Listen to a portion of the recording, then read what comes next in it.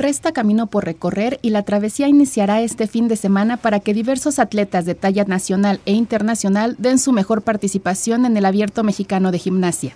Para la Federación Mexicana de Gimnasia, la verdad es que es un gusto que se sigan preocupando por hacer este tipo de eventos, porque a final de cuentas es la promoción, ¿no? La promoción de nuestro deporte y pues interesarse en, como ustedes lo vieron, en esa interacción de gimnastas de talla mundial eh, con, la, con nuestras gimnastas pequeñas, que bueno, son las futuras generaciones y la verdad es que es muy importante que haya este tipo de iniciativas de eventos así. Un evento importante que funciona como trampolín para deportistas que buscan llegar a conquistar una medalla en los Juegos Olímpicos Tokio 2020. Y aunque algunos solo estarán en el evento apoyando a sus similares, saben que es un impulso para llegar mejor preparados a centroamericanos, panamericanos y Juegos Olímpicos. Eh, ahorita por cuestiones de, lesiones este, no voy a competir, pero voy a participar en la gala. Vengo a, pues a, apoyar el evento, que es uno de mis eventos favoritos.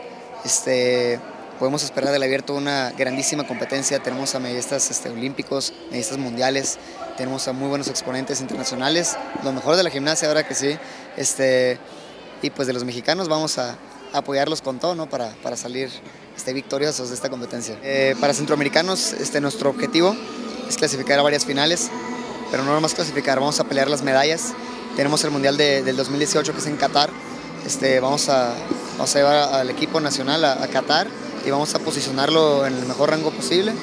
Este, gracias a, si cumplimos ese objetivo vamos a clasificar al, mundial que sigue en 2019 para pues hacer historia ¿no? y poner a México donde, donde debe estar, que es en lo, en lo más alto.